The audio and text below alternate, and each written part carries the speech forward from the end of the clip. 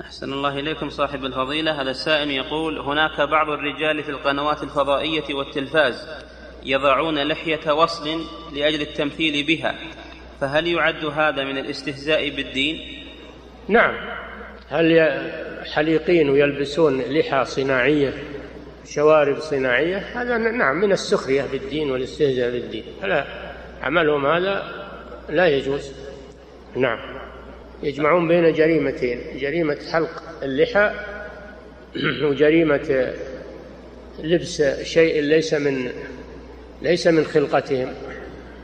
نعم والمتجمل بما لم يعطى كلابس ثوب يزور لا يجوز لهم هذا. نعم.